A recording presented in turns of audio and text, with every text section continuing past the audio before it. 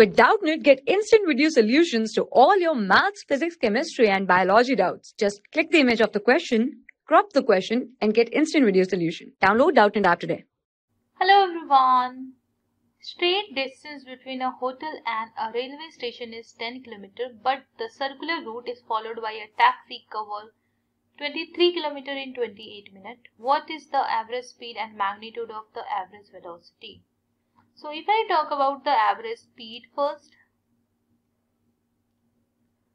so it is equal to the total distance traveled by the total time.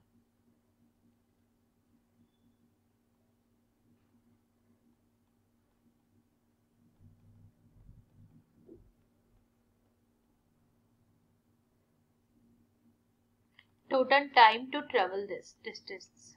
So if you see it takes 28 minutes and distance travel is 23. So I will write 23 by 28. So this is in minutes. We can convert it into hour by dividing it with 60. So it will be 49.3 kilometer per hour. So this is the average speed. Now let us find out the magnitude of the average velocity. So if I talk about the average velocity,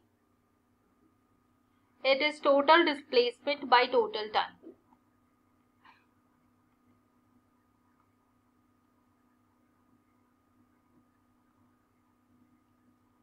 total displacement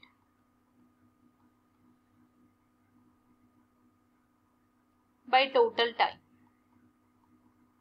So total time taken is the same 28 minutes. Total displacement here is 10.